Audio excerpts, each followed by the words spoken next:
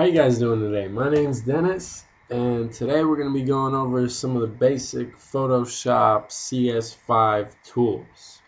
Okay, first I'm going to go ahead and make a new document so we could use it, use it as an example. Okay, here we go. First, you have this little black mouse right here. Now what this does is it moves active layers around. For example, if you need to move like a square you have on the screen, you would click the mouse and go ahead and move it.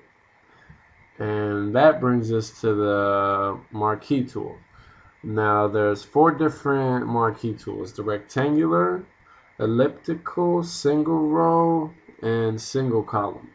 Now the rectangle rectangular of course creates squares elliptical circles single row single rows and single column single columns. Okay.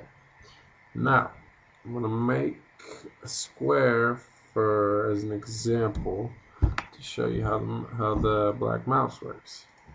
So this here is the paint bucket tool by the way. This fills in colors and for example if you you would make it if you want to like make a square and fill it with a solid color like I'm doing now you would make the square with this tool the marquee tool and you would fill it with the paint bucket tool. And right down here you could select your colors. So say for example we want to use like a red.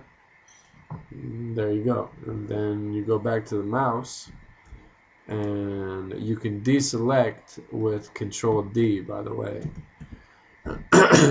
And go back to the mouse and you can move your little square around with it as you can see. Okay and this is the first part of my series of the basic Photoshop tools